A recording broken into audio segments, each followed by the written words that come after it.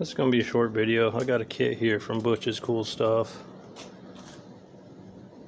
of basically install kit where you can put a LA style engine, small block Mopar into a they have multiple years, 42 to 48, but mine's a 55 Plymouth Savoy. Comes with uh, weld-in engine mount tabs. Got the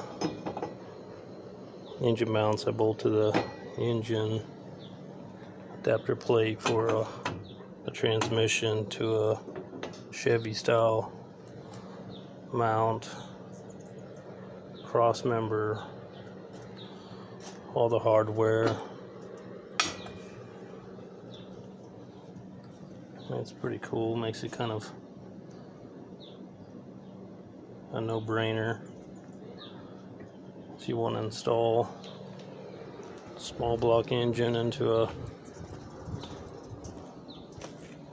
I think they have Chevy too small block Chevy that you can put into.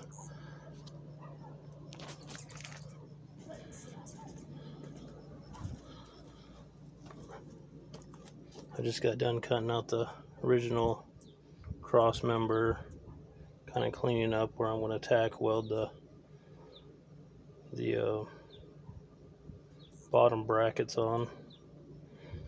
It's my tilt hood.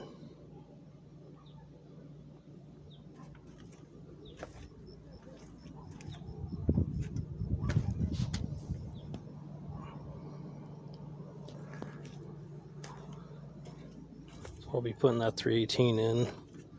Just kind of did a little subframe. I might change these hinges down here. These are just gate hinges that I cut and welded and bolted it on. These are just temporary chains holding it on.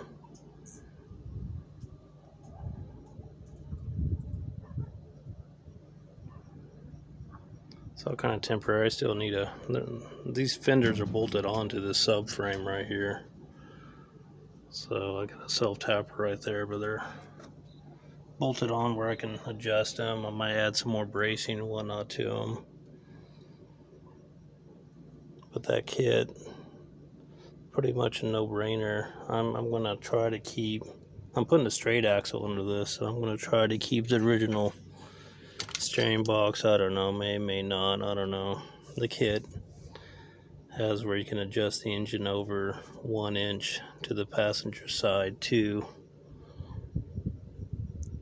you know, to give a little bit extra room. But we'll we'll see how it goes. I'll keep you guys updated. Now look, I don't have a lot of followers, which I really don't care about, but I think it's pretty cool putting stuff together.